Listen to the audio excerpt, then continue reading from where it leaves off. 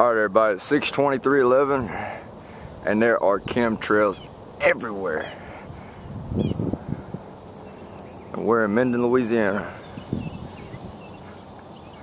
Wow, people.